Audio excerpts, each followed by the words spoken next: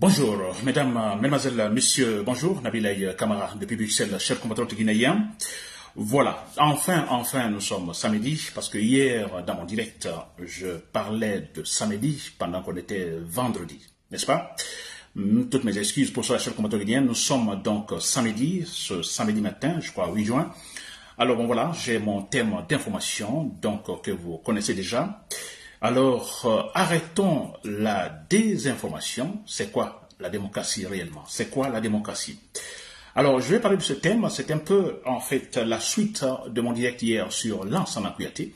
Lansana Kouyaté, ancien Premier ministre de Lansana Comté. Lansana Kouyaté, il est aussi, en fait, leader politique PDN, n'est-ce pas? Ah, Très bien. C'est un peu la suite de cela. Mais bon, voilà, beaucoup plus, euh, disons, élargi cette fois-ci. C'est le guinéen. Alors, je dis, arrêtons la désinformation.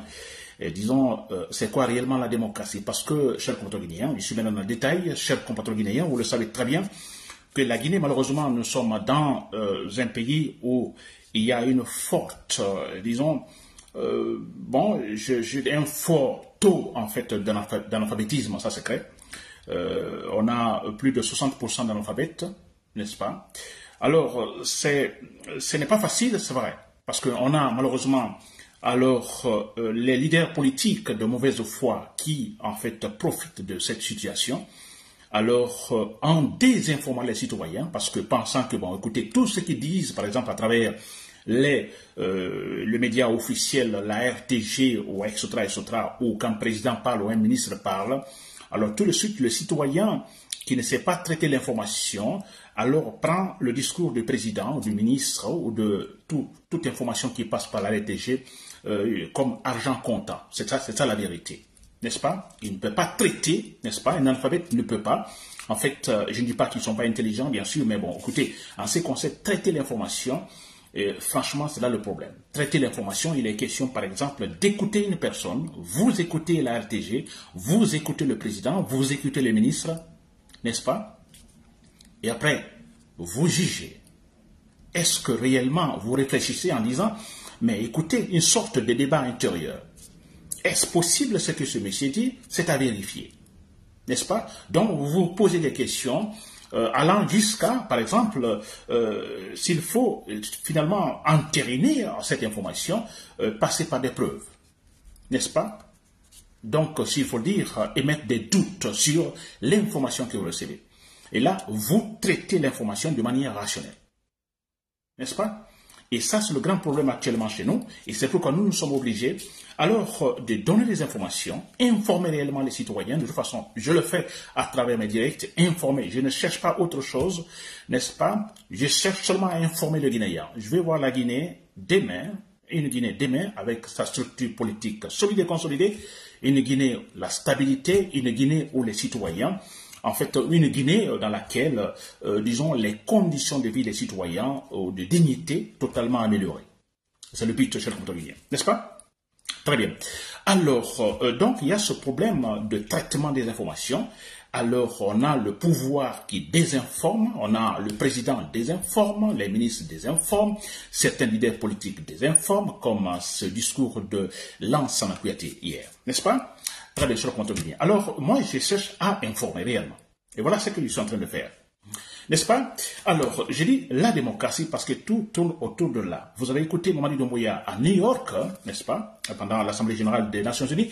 Mamadi Doumbouya était clair, il n'est pas le seul. On entend ce même discours de la part des, des panafricanistes et tant d'autres, euh, vous voyez et surtout, euh, une bonne partie de la jeunesse actuelle, la génération actuelle, c'est vraiment, c'est décevant. Les gens, la génération actuelle, une bonne partie, euh, je dirais même la majorité, qui ne réfléchit pas beaucoup. Ça, c'est vrai c'est quand même incroyable. N'est-ce pas? C'est-à-dire Mamadou Doumbouya qui dit que, écoutez, la démocratie occidentale ne nous convient pas. N'est-ce pas? Cette démocratie occidentale ne nous convient pas, ne tient pas compte de nos problèmes. N'est-ce pas? Ce qui est un gros mensonge. Alors, euh, une personne normale, donc rationnelle, écoutera ce discours, l'écoutera réellement quand il dit écouter, c'est-à-dire vous gardez tous les silences, vous écoutez la personne que la personne sente, l'interlocuteur, sache que effectivement vous l'écoutez. N'est-ce pas? Et après, bon voilà, vous jugez vous-même. Est-ce vrai? Est-ce possible? Est-ce normal? C'est cela, cher Guinéen. N'est-ce pas? Malheureusement, ce n'est pas le cas parce que quand je vois la, la génération actuelle, beaucoup en Afrique, pas seulement en Guinée, qui soutiennent euh, Poutine, s'il vous plaît. Oui, ça, c'est manque de réflexion. Soutenir Poutine. La politique de Poutine en disant, bon, Poutine est le seul capable de faire face, donc, euh, disons, aux Américains, ou etc., etc. N'est-ce pas? C'est quand même extraordinaire. C'est une faiblesse, c'est de l'ignorance totale. Parce que Poutine est une faiblesse face aux autres. Très bien. Voilà, donc je dis la démocratie, il n'existe pas la démocratie occidentale, il n'existe pas la démocratie, oh, je dirais, anglaise ou ghanéenne ou je dirais euh, indonésienne ou française ou allemande ou espagnole. Il y a la démocratie tout court. La démocratie, comme définition, je ne vais pas compliquer les choses, j'utilise les termes clairs pour que je sois bien compris. La démocratie, en fait, c'est, euh, disons, euh, le pouvoir du peuple, n'est-ce pas? Le pouvoir des citoyens. Le pouvoir, en fait, le, le peuple, les citoyens sont souverains. Seuls les citoyens élisent leurs gouvernants. Et ces gouvernants élus sont responsables de leurs actes face à ces citoyens. C'est ça la démocratie. Laissons tout ça, la démocratie est née en Grèce, ainsi de suite. Non, prenons ce point, ce dénominateur commun, c'est ça. La démocratie, c'est-à-dire le peuple est souverain. C'est le peuple qui élit en fait ses citoyens, plutôt ses gouvernants. N'est-ce pas? Très bien, cher.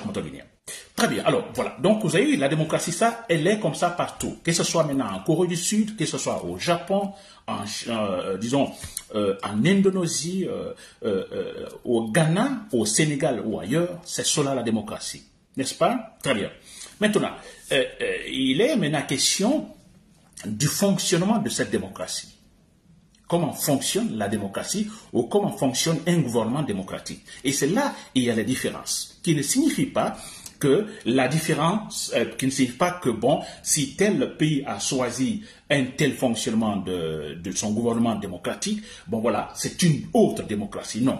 Je viens de dire, donner le dénominateur commun de la démocratie. Maintenant, dans un pays démocratique, un pays qui a opté pour la démocratie, pour cette forme de gouvernance, peut maintenant choisir une forme, en fait, de, euh, disons, de, disons, euh, disons une forme ou un mode de fonctionnement de sa démocratie ou de la démocratie. N'est-ce pas? Parce qu'il y a, euh, disons, euh, plusieurs systèmes, pour ne citer que trois, n'est-ce pas? Le système présidentialiste, par exemple, n'est-ce pas? Le système parlementaire, le système, euh, disons, mix parlementaire présidentialiste. Donc, ce sont trois éléments, trois systèmes, disons, qui sont comme une sorte, disons, euh, je dirais, de, de, de, colonne vertébrale pour, euh, disons, la démocratie dans beaucoup de pays. Donc, à partir de là, chaque pays peut on a le choix, disons, euh, de choisir un système de fonctionnement. La France choisit un système de fonctionnement qui n'est sûrement pas, le, disons, le même, disons, système de fonctionnement aux États-Unis, en Angleterre, au Ghana, etc., etc. Personne n'est obligé, on n'est pas obligé en Guinée par exemple, on ne nous oblige pas, par exemple, étant dans la démocratie, nous imposant un système, donc euh, disons démocratique, non. Vous comprenez, cher guinéen? Voilà. Donc je dis bien, il y a le système présidentialiste, il y a le système parlementaire et le système mix parlementaire présidentialiste. Voilà, cher guinéen Donc, je dis, bien, le mode de fonctionnement tourne autour donc de ces systèmes-là. N'est-ce pas? En étant dans la démocratie déjà, en ayant accepté que la démocratie, dans mon pays, le peuple est souverain, qui élit ses gouvernants à travers les urnes dans un système politique solide et consolidé, transparent. N'est-ce pas? Très bien, cher bien. Voilà ça, vous comprendrez après que je suis en train de répondre à ceux-là qui disent, qui disent, qui parlent la démocratie occidentale, qui ne peut pas s'adapter, disons, en Afrique ou en Guinée. Pour dire tout simplement que ça, c'est de la désinformation, c'est du mensonge. Très bien. Alors, pourquoi choisir un mode de fonctionnement démocratique N'est-ce pas? Et ça aussi, c'est toujours en fonction des problèmes dans son pays. C'est pour résoudre les problèmes du pays. N'est-ce pas? Vous avez opté pour la démocratie en disant, bon, écoutez, nous ici, les dirigeants sont élus. Vous passez par les unes, d'accord. Il y a beaucoup de problèmes, mais comment résoudre ces problèmes-là? Parce qu'il ne suffit pas seulement de voter les dirigeants, n'est-ce pas? Il y a des problèmes à résoudre. Beaucoup de problèmes à résoudre. On a des objectifs communs qu'il faut résoudre. C'est difficile, n'est-ce pas? Comment travailler, euh, disons, pour pouvoir résoudre ces problèmes-là sans difficulté? Et là, on essaie de voir euh, les systèmes démocratiques. Soit on se dit, écoutez, le système présidentiel pourrait bien aller avec nous pour résoudre nos problèmes. Oh non, le système parlementaire serait beaucoup mieux. Oh non, le système mixte, euh, plutôt le système mixte parlementaire présidentiel serait, par exemple, mieux pour résoudre nos problèmes des problèmes, comme je le dis par exemple, un président de la République qui peut devenir dictateur. Comment éviter cela étant dans la démocratie? Parce qu'on a vu des pays qui ont commencé l'ouverture démocratique, tout va bien au départ, mais après quelques temps, on a le président qui devient démon, qui devient dictateur. Comment éviter cela? Et cela, il faut choisir les systèmes démocratiques, les systèmes de gouvernement démocratique. On a vu Alpha Condé, par exemple, qui a été élu, ce monsieur qui a tant chanté pendant 40 ans dans la démocratie, parlant de la démocratie, il est élu, n'est-ce pas? Disons qu'il est tenu, il est venu. N'est-ce pas? Quelque temps après, qu'est-ce s'est-il passé? Voilà, il veut en fait une constitution sur mesure pour pouvoir se maintenir au pouvoir. Vous avez vu? C'est parce que tout simplement, il y a un problème d'application claire la démocratie. Sinon, Alpha Condé ne se serait pas permis. Et c'est pourquoi ces pays euh, européens, alors, euh, ils ne sont pas euh, rien n'est en fait sorcier. ce qu'ils font actuellement, nous pouvons aussi, nous Africains, le faire aussi. N'est-ce pas? Ce qui se passe en Guinée, par exemple, on se dit, mais écoutez, Alpha Condé, mais comment est possible que ce monsieur qui a fait 40 ans opposant, se battant pour la démocratie, luttant contre tout président qui tente de, de personnaliser les constitutions, comment se fait-il? Comment a-t-il pu, lui, n'est-ce pas, se comporter ainsi? Et nous, Guinéens, nous réfléchissons, n'est-ce pas? Par exemple, en élaborant notre constitution, nous nous battons en réfléchissant à travers de vrais débats trouver un système démocratique, je dis bien démocratique, pour pouvoir éviter de tels problèmes dans le futur. N'est-ce pas? Et c'est ça. Et c'est ce que les Européens font. D'autres pays, c'est cela. Il y a des problèmes, ce qui se passe en Guinée. Ça se passe également dans beaucoup de pays euh, européens. Par exemple, en Amérique latine. Aujourd'hui, l'Amérique latine, je peux dire que tous les pays sont démocratiques. Mais cela s'est passé à un moment donné où les présidents, à un moment donné, alors ils ont, en fait, euh, il y a cette apparence démocratique. Quelques temps après, dictateur. On a vu ça en Amérique latine. Mais l'affaire est résolue. C'est résolu parce que finalement, ils se sont dit, problème après problème, ils ont réfléchi. Bon, écoutez, élaborons des systèmes n'est-ce pas, ou choisi, optant pour un tel fonctionnement démocratique pour pouvoir finalement, euh, disons, ne plus revoir les mêmes problèmes. N'est-ce pas, cher Guinéen N'est-ce pas? Très bien. Alors quand je prends le système présidentialiste, le système présidentialiste, euh, je suis en train de définir effectivement ce que cela signifie. Alors le président, c'est le présidentialisme. Là, euh, il est question d'un seul, d'un seul chef exécutif.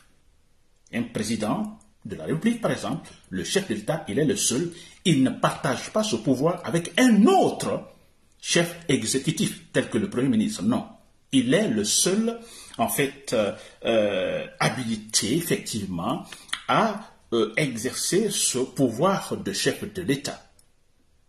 Il ne partage pas ça avec un autre chef d'exécutif, tel, tel que un Premier ministre, non.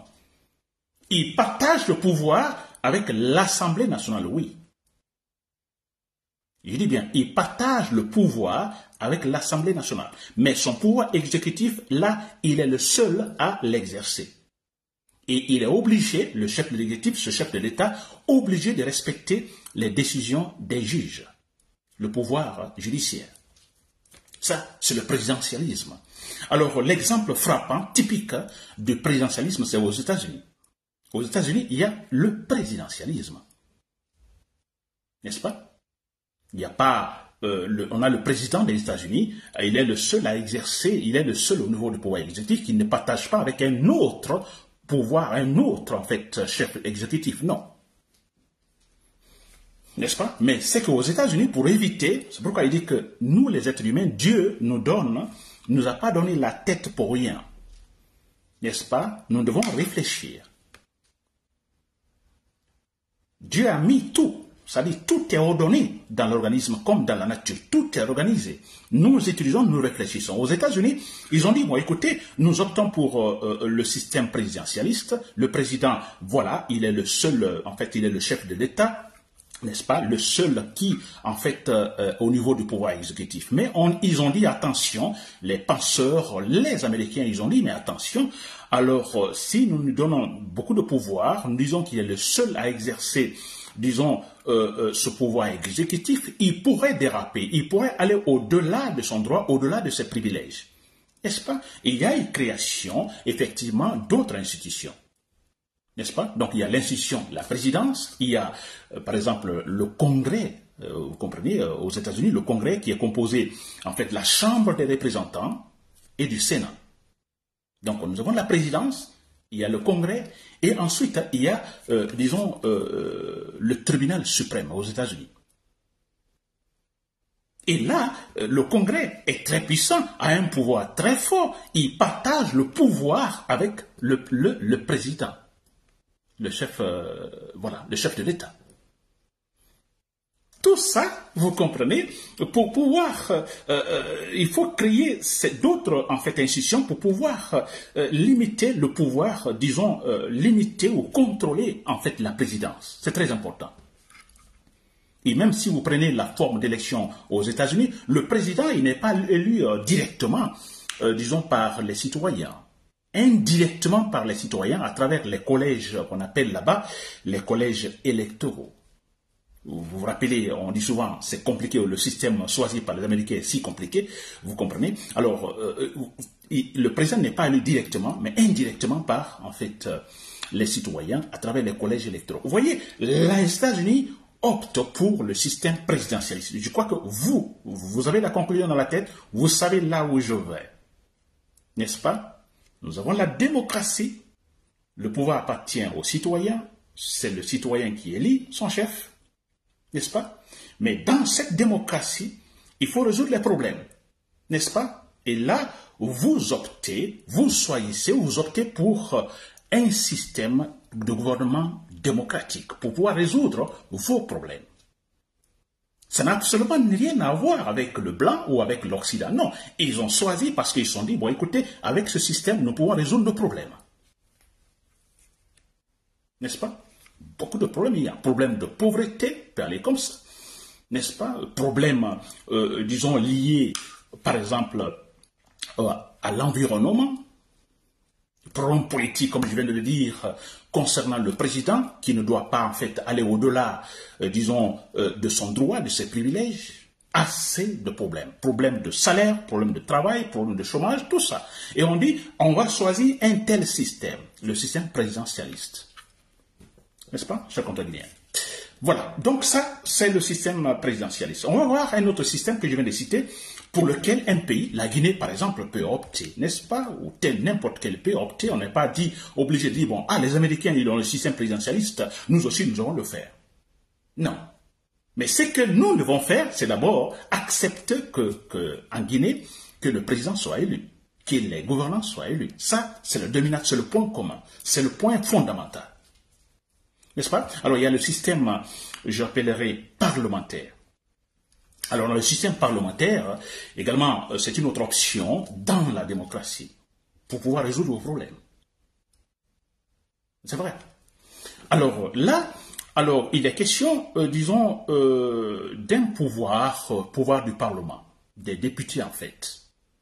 Ici, on ne parle pas d'un chef d'État, disons, disons, a priori, on parlera par exemple d'un chef de gouvernement, euh, disons appelé dans d'autres pays le Premier ministre, n'est-ce pas? Chef de gouvernement ou Premier ministre. Alors lui, il a un peu comme le rôle en fait du, président des États-Unis dans le régime parlementaire. Il est le chef de gouvernement, il prend des décisions importantes, il est responsable de beaucoup de choses, euh, disons euh, concernant la gouvernance du pays, n'est-ce pas? Mais ce premier ministre n'est-ce pas? Et comme je l'ai dit, il n'est pas le chef d'État. Dans ces pays en question, je cite, un exemple, par exemple l'Espagne ou l'Angleterre, hein, ou, même la Belgique, il y a un chef d'État. Mais ce chef d'État n'a aucun, ne joue pas un rôle, euh, ne, fait rien de politique, ne prend aucune décision politique. Je dirais qu'il a un rôle, comment je peux appeler ça, purement symbolique. N'est-ce pas? Il est en fait, je dirais, le symbole de l'unité, disons, de la nation. Je prends par exemple l'Espagne, il y a le roi. Le roi, il est en fait le chef de l'État. Mais il ne prend jamais de décisions politiques. Les décisions politiques, c'est en fait, je dirais, le rôle où ça concerne, disons, le chef de gouvernement. N'est-ce pas? Voilà.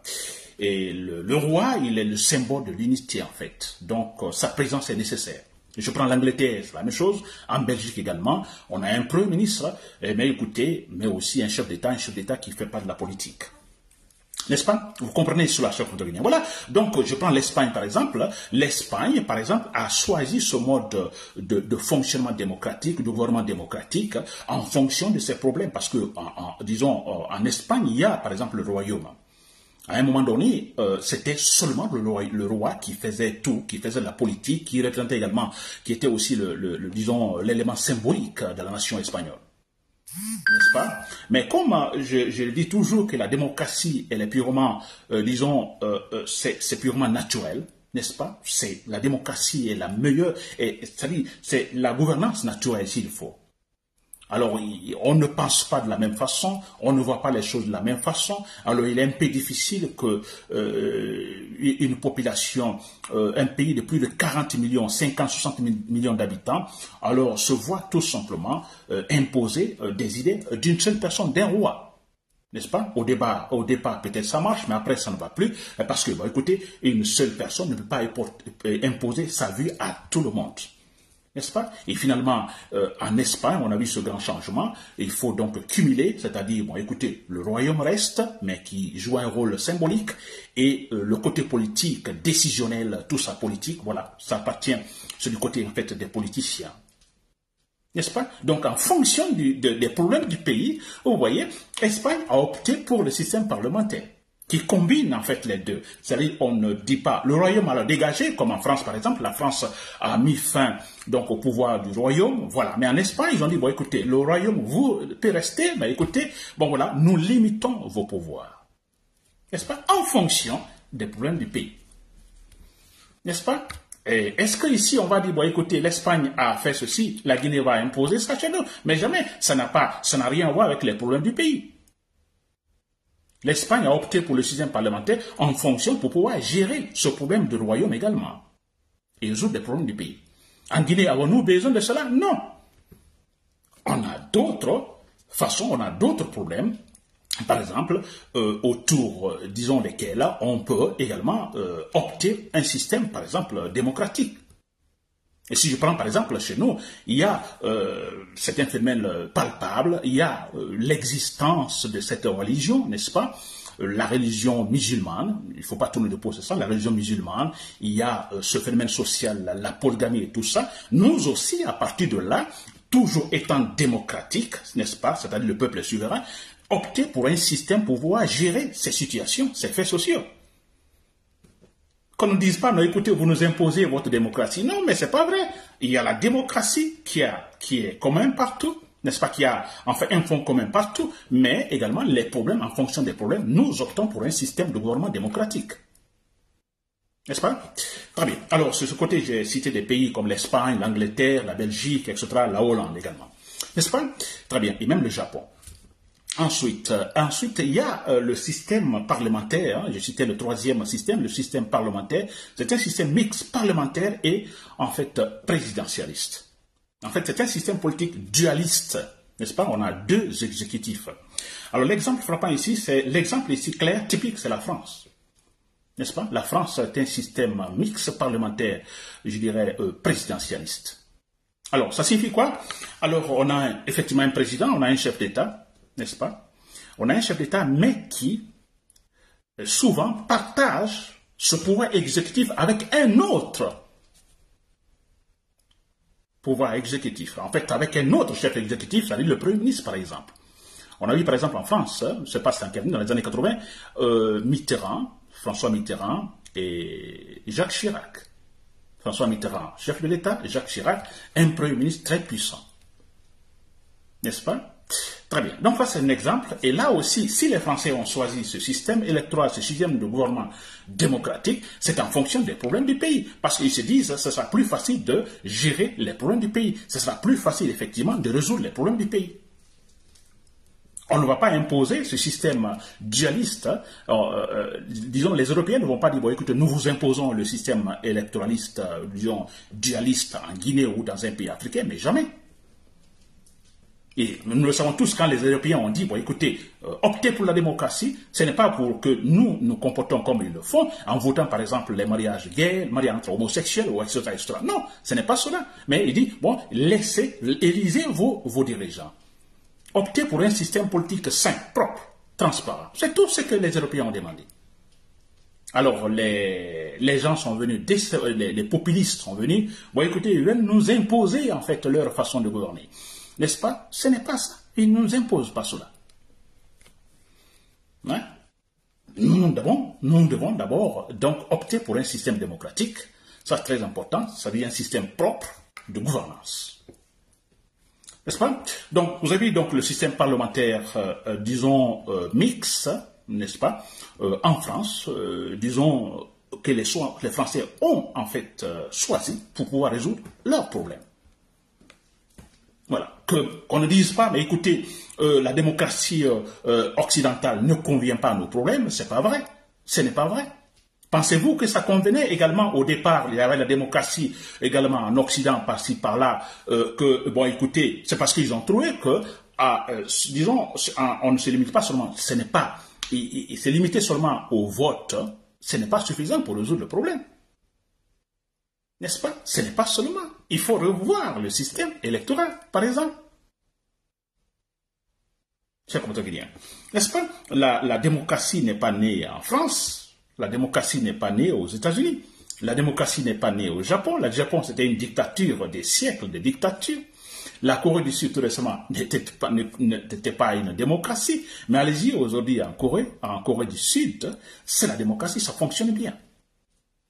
N'est-ce pas? Et ils ne disent pas là-bas, ils nous ont imposé ça. Non. Et parce que pourquoi il n'y a pas de problème? Parce qu'ils appliquent correctement le système démocratique. Correctement.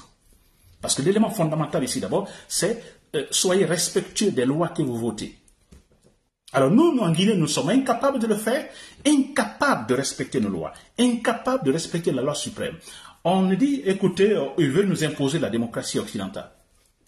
Quelle honte quelle manière de désinformer les citoyens. en disant, les populistes disent, bon écoutez, vous avez vu, là-bas, eux, ils votent le mariage entre les homosexuels. N'est-ce pas? Deux hommes qui se marient entre eux, ou deux femmes qui se marient, etc. Ou on a des, des, des, des, personnes du même sexe qui, qui en fait, euh, peuvent adopter un enfant. Vous voyez, ils utilisent ces choses-là, pourtant, ça, ce sont des éléments qui ont été également en fait euh, euh, proposés par les partis politiques, débat dans l'Assemblée nationale et tout ça, donc propre à leur, euh, voilà, leur pays. N'est-ce pas? Il ne peut pas nous imposer cela. Il ne peut pas nous imposer, jamais. Très bien, cher contribuable. Alors, j'avance en disant que vous avez vu, la démocratie, elle est importante, n'est-ce pas? Qu'on arrête de nous désinformer. C'est pas, pas normal. Franchement, informons-nous réellement. C'est quoi la démocratie s'il vous plaît? Nous sommes des êtres humains dotés d'intelligence. Nous ne sommes pas, nous sommes indépendants depuis plus de 60 ans. N'est-ce pas? On ne peut pas se dire que, bon, écoutez, ils veulent nous imposer cela. Mais non, au Ghana, vous pensez-vous que l'Angleterre peut imposer une vue au Ghana, sa vue personnelle au Ghanéen, mais non. Pourquoi les Anglais, les Anglais ne peuvent même pas, ils ne peuvent pas oser, sachant déjà qu'au Ghana, sachant déjà qu'au Ghana, il y a une structure politique solide et consolidée. Ils n'osent pas. C'est quand vous n'avez pas de système clair, n'est-ce pas, que, bon voilà, les gens sont capables de venir vous manquer de respect. Quand je vois la France maintenant, la France, nous apprenons, ça se confirme, les Français qui coopèrent maintenant militairement avec euh, la junte militaire en Guinée. N'est-ce pas? Pourquoi France fait cela? Mais parce que, sachant déjà qu'on a une junte militaire qui ne veut pas laisser le pouvoir, une junte militaire qui tire sur les citoyens en France, en France. Avez-vous entendu une fois, pendant une manifestation, les militaires, les policiers tiraient sur les gens? N'est-ce pas? Et quand ça se fait, il y a souvent des cas isolés nous savons comment les sanctions arrivent. N'est-ce pas? Et les Français sont capables de venir maintenant en Guinée, sachant qu'on a un pouvoir autoritaire qui massacre, qui interdit les manifestations et tout. Les Français viennent coopérer. Vous savez pourquoi ils font? Parce que les Français disent, bon écoutez, ils sont pas sérieux, ils n'ont même pas un système transparent. Ils n'ont rien de clair. La corruption passe par là. Et voilà pourquoi ils se moquent de nous. S'ils avaient trouvé un système cohérent, politique, transparent, clair, les gens sérieux, les institutions solides, ils n'auraient pas osé. Jamais ils nous auraient en disant, bon écoutez, en, France, nous n'acceptons pas cela. Alors pour quelle raison Nous n'acceptons pas euh, de tels comportements euh, négatifs? Alors pour quelle raison? Alors nous, nous comporter dans un autre pays avec les mêmes comportements négatifs que nous ne pouvons pas, en fait, euh, disons, utiliser chez nous. Vous voyez? Voilà. C'est que nous ne respectons pas, chers Portugais. Alors, je dis bien, la démocratie est donc importante. La démocratie permet euh, disons tout simplement, d'améliorer les conditions de vie et de dignité des citoyens. Ça, c'est vrai. Au temps de Sékou quand Sékou est mort, Lassana Conté est arrivé avec son coup d'État militaire. Qui s'est-il passé le lendemain du coup d'État militaire? Une semaine après, deux semaines après. N'est-ce pas Un grand changement en Guinée? Quelques mois après, un an après, grand changement en Guinée. La qualité de vie des citoyens. N'est-ce pas? On n'avait finalement pas de citoyens, beaucoup de citoyens maintenant qui avaient des véhicules, qui pouvaient s'acheter des véhicules. Alors pendant que avant, ce privilège était seulement accordé, euh, disons, au président et en fait euh, son groupe. On voyait les Guinéens finalement se construire des maisons. Les habillements même changent. Autant de Sékou écoutez attention, c'était tout euh, des, tenues quatre poches par-ci par-là. Ou des boubous blancs. Mais après cela, non. On avait le choix de s'habiller comme on veut. On avait le choix de s'acheter le type de véhicule que nous voulons, du moins qu'on a de l'argent. Oui, la démocratie, donc, euh, améliore la qualité de vie, la dignité des citoyens. La démocratie, on se dit, on est fier, on est, parce qu'on se dit, mon opinion est écoutée. Je peux créer un parti politique, participer à la construction du pays. C'est la démocratie qui fait cela. Pensez-vous que la dictature accepte cela? Non. Jamais. Autant de Sékou c'est vrai, c'était une catégorie de gens qui avaient ce privilège-là. Les autres ne pouvaient pas. On ne dit pas, comme Saddam Daraba le dit, autant de Sékou les gens étaient disciplinés. Il n'y avait pas, en fait, de problème ethnique par-ci, par-là. N'est-ce pas? Mais comment voulez-vous Quelqu'un soulève la tête, mais sa tête est coupée, ou il est au Cambouao? Et c'est normal que les gens se taisent, que personne ne proteste. Ceux-là qui ne pouvaient pas se taire, ils sont sortis, ils ont choisi l'immigration n'est-ce pas? Ensuite, la démocratie, aussi, hein, il ne faut pas se le cacher, avec la démocratie, on arrive tout simplement, la démocratie nous aide à concrétiser nos, nos, désirs, en fait. C'est vrai. Il y a les partis politiques, on parle de multipartisme dans la démocratie. Il y a par exemple les élections qui vont arriver, les partis politiques viennent avec leur euh, programme politique, je ferai ceci, cela, etc., euh, etc. Je vais électrifier toute la ville, je vais faire, euh, je vais réaliser des infrastructures extraordinaires par-ci, par-là, n'est-ce pas? Je diminuerai le chômage, etc., etc. N'est-ce pas? Et là, pour que le pouvoir, plutôt le politicien, le parti politique qui a ce programme puisse arriver au pouvoir, il faut effectivement que le citoyen qui doit voter soit convaincu. N'est-ce pas? Disons que quand ce monsieur va arriver au pouvoir et qu'il va travailler dans le sens des programmes annoncés pendant sa campagne électorale, mais c'est parce que les citoyens ont voté, donc les citoyens votent. La démocratie, donc, nous aide à réaliser, concrétiser nos, désirs, et atteindre nos objectifs communs. N'est-ce pas? Autre élément important de la démocratie, pour ceux qui disent que la démocratie occidentale, non, par-ci, par-là, c'est des maçons sur la désinformation. La démocratie, elle est bien appliquée, je dis bien bien appliquée, elle n'a que des bénéfices. Ça, c'est clair et net. La démocratie aussi impose, n'est-ce pas, les limites, n'est-ce pas, à l'autorité du pouvoir. Ça, c'est très important, garantissant, euh, du coup, en fait, les droits, certains droits et libertés à ses citoyens. Ça, c'est la démocratie. Donc, la démocratie dit, bon, écoutez, vous avez élu, en fait, vos gouvernants, d'accord, c'est bien, à travers les urnes, dans la transparence totale. D'accord Mais la démocratie dit, bon écoutez, on va limiter, euh, disons, le pouvoir de ces, de ces autorités, qu'ils ne se transforment pas en démons, en dictateurs. Tout est limité et garantit des droits et libertés aux citoyens. C'est la démocratie. Grâce à la démocratie. Je dis bien une démocratie bien appliquée. Mais écoutez, ce n'est pas sorcier. On ne dira pas, mais écoutez, les Ghanéens ont réussi, la Guinée ne peut pas. Sénégal a réussi, la Guinée ne peut pas. Pour quelle raison? C'est pas possible démocratie occidentale ou quoi. Mais c'est pas possible. Ghana, allez-y au Ghana. Ils ont, ils ont opté pour la démocratie, dit le peuple est souverain. Alors il y a beaucoup de problèmes ghanéens. Ils ont trouvé un système, effectivement, euh, toujours dans le cadre démocratique pour pouvoir résoudre ces problèmes-là. N'est-ce pas? Souvent, ils prennent des décisions. J'ai entendu, euh, disons, à un moment donné, où les Ghanéens ont décidé, par exemple, de ne plus, euh, disons, disons chercher des prêts auprès des organisations financières internationales. Vous voyez? Ils ont fait ce choix.